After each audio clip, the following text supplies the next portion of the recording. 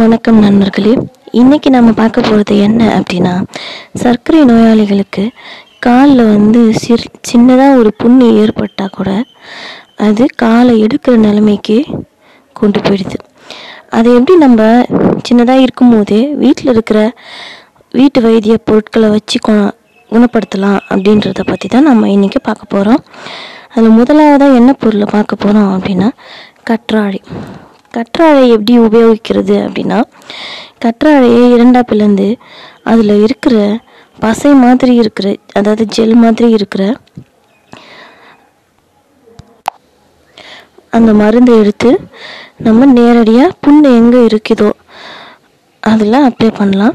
இது வந்து ஒரு நாளைக்கு ரெண்டுலேருந்து மூணு முறைக்கு நம்ம உபயோகப்படுத்தினா ரொம்ப நல்லதாக இருக்கும்.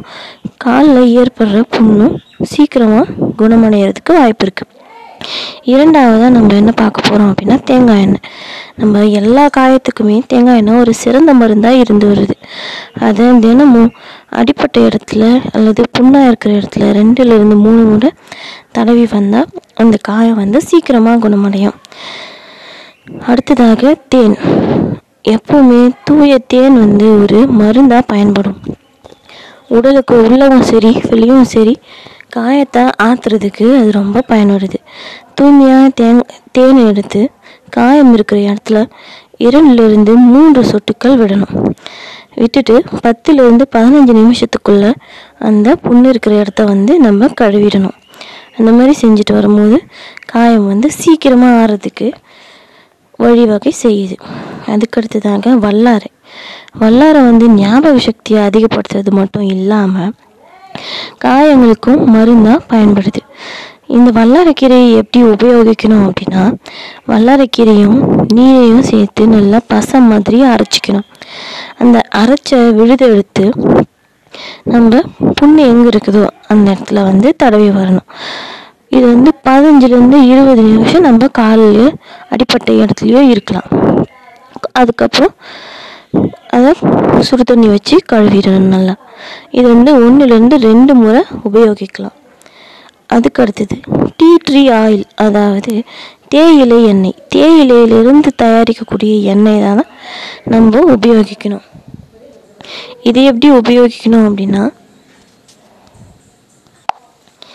இது வந்து பத்துலேருந்து பன்னெண்டு சொட்டு தேயிலை எண்ணெயும் அதோட தேங்காய் எண்ணெயும் சேர்த்து ரெண்டுத்தையும் நல்லா கலந்து ஒன் இரண்டு முறை ஒரு நாளைக்கு உபயோகிக்கணும். அந்த மாதிரி உபயோகித்து வர வர காலில் இருக்கிற காயம் வந்து சீக்கிரமாக குணமடையும். அடுத்ததாக அடுத்ததாக மஞ்சத்தூள். மஞ்சத்தூள் எப்படி பயன்படுது அப்படின்னா பொதுவாகவே எல்லா காயத்துக்குமே மஞ்சத்தூள் வந்து ஒரு சிறந்த மருந்தாக பயன்படுது. குறிப்பாக இந்த காயத்துக்கும் மஞ்சத்தூளியும் தேங்காய் எண்ணெயும் கலந்து வைக்கும் போது காயத்து மேலே வைக்கும் போது அந்த காயம் வந்து சீக்கிரமாக ஆறுறதுக்கான வாய்ப்புகள் இருக்குது. அடுத்ததாக ஆலி விதை ஆலி விதை வந்து இங்கிலீஷில் வந்து ஃப்ளாக்ஸ் சீட்ஸ்ன்னு சொல்லுவாங்க. இதை வந்து தண்ணியோடு சேர்த்து நல்லா பசை மாதிரி அரைச்சிடணும். அரைச்சிட்டு எங்கே காயம் இருக்கோ அந்த இடத்துல வந்து நேரடியாக இதை வந்து போடணும். போட்டுட்டு பதினஞ்சுலேருந்து இருபது நிமிஷம் வரைக்கும் அது அந்த இடத்துலையே இருக்கணும். அப்புறமா நம்ம வந்து கழுவிடணும். சுத்தமாக கழுவிடணும் அந்த இடத்த. அதுவும் காயத்தை வந்து விரைவாக ஆற்றக்கூடியது அதுக்கு அடுத்ததாக செவ்வந்தி பூக்கள். செவ்வந்தி பூக்கள் வந்து வெண்மை நிறத்தில் இருக்கும். இது எப்படி யூஸ் ஆகுது அப்படின்னா ஒரு சுடு தண்ணி ஒரு கப்பில் எடுத்துக்கணும். அதில் இந்த செவ்வந்தி பூக்களை வந்து பத்துலேருந்து பதினஞ்சு நிமிஷம் வரைக்கும் போட்டு வைக்கணும். சுட சுட தண்ணியில் போடும்போது செவ்வந்தி பூக்களில் இருக்கிற மருந்து மருத்துவ குணம் எல்லாமே அந்த தண்ணியில் வந்து இறங்கிடும்.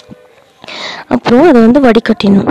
வடிகட்டிட்டு கொஞ்ச நேரம் ஆற விட்டுட்டு அந்த தண்ணியில் ஒரு தூய்மையான துணியை நினச்சி காயம் எங்கே இருக்கோ அந்த இடத்துல வந்து கட்டணும். அப்படி கட்டும்போது காயம் வந்து விரைவாக ஆறிடும். இது வந்து இரவில் செஞ்சால் ரொம்ப நல்லது. ஒரு இரவு ஃபுல்லாக அந்த மாதிரி அந்த தூய்மையான துணி வந்து நம்ம காலிலேயே இருக்கணும். காயம் இருக்கிற இடத்துலையே இருந்துச்சுன்னா அந்த காயம் வந்து சீக்கிரமாக ஆறிடும். இது வந்து ஒரு நாளைக்கு ஒரு முறை தான் செய்யணும். அதாவது இரவில் மட்டும் செஞ்சால் ரொம்ப நல்லது. அடுத்ததாக ஆவாரம்பூ ஆவாரம்பூ பொதுவாகவே சர்க்கரை வியா வியாதிக்கு வந்து ரொம்ப பயன்படக்கூடியது.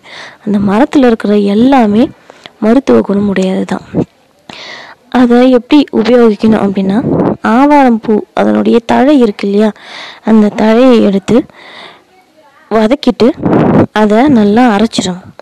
அரைச்சிட்டு காய் எங்கே இருக்கோ அதில் அரைச்ச விழுதை எடுத்து ஒரு துணியை வச்சு கட்டிடணும். இந்த மாதிரி நம்ம செஞ்சுட்டே வந்தோன்னா காலில் இருக்கிற காயத்தை சீக்கிரமாகவே ஆற்றிடலாம் நம்ம காலை எடுக்க வேண்டிய அவசியமே வராது. இதையெல்லாம் பின்பற்றினா நம்ம சர்க்கரை வியாதி இருந்தாலும் நம்மளுக்கு எந்த விதமான காயங்களும் ஏற்படாமல் நம்ம பாதுகாத்துக்கலாம். இந்த இன்னும் மேலே மேலும் தகவலை பெற இந்த சேனல் உங்களுக்கு பிடிச்சிருந்துச்சுன்னா சப்ஸ்கிரைப் பண்ணுங்கள் நோட்டிஃபிகேஷனை கிளிக் பண்ணுங்கள் முடிஞ்சால் உங்கள் ஃப்ரெண்ட்ஸுங்களுக்கும் ஷேர் பண்ணுங்கள் பல்வேறு விதமான பல்வேறு துறைகளை சார்ந்த செய்திகளை நம்ம கேட்டுக்கிட்டே இருக்கலாம். நன்றி.